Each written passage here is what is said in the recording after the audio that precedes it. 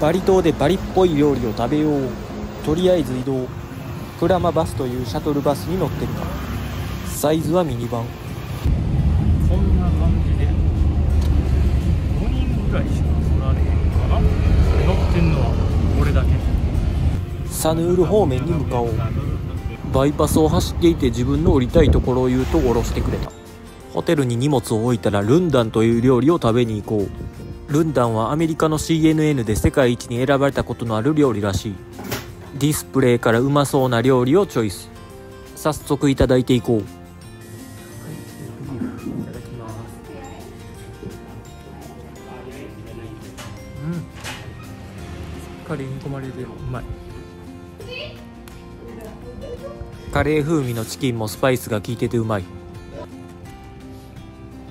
このかき揚げのような料理もコーンの甘さと香辛料の辛さがあってうまい。ルンダンは牛肉の佃煮のような感じで飯と合う。そしてチキンも飯が進むような味付け。バクバクいけちゃう。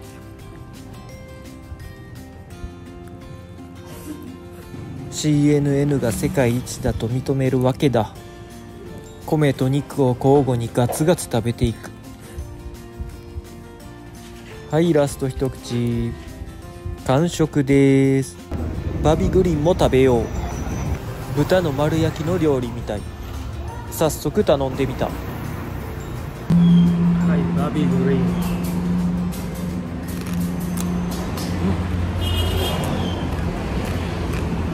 皮がパリパリ。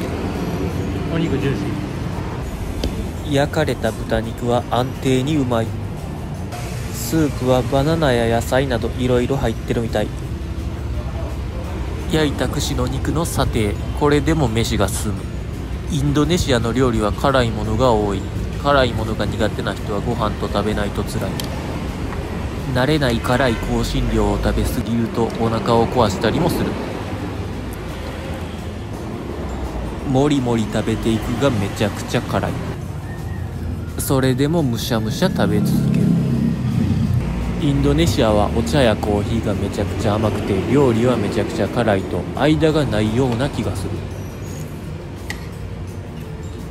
この豆キャラメルコーンについてくる豆と同じでめちゃくちゃうまい。はいラスト一口。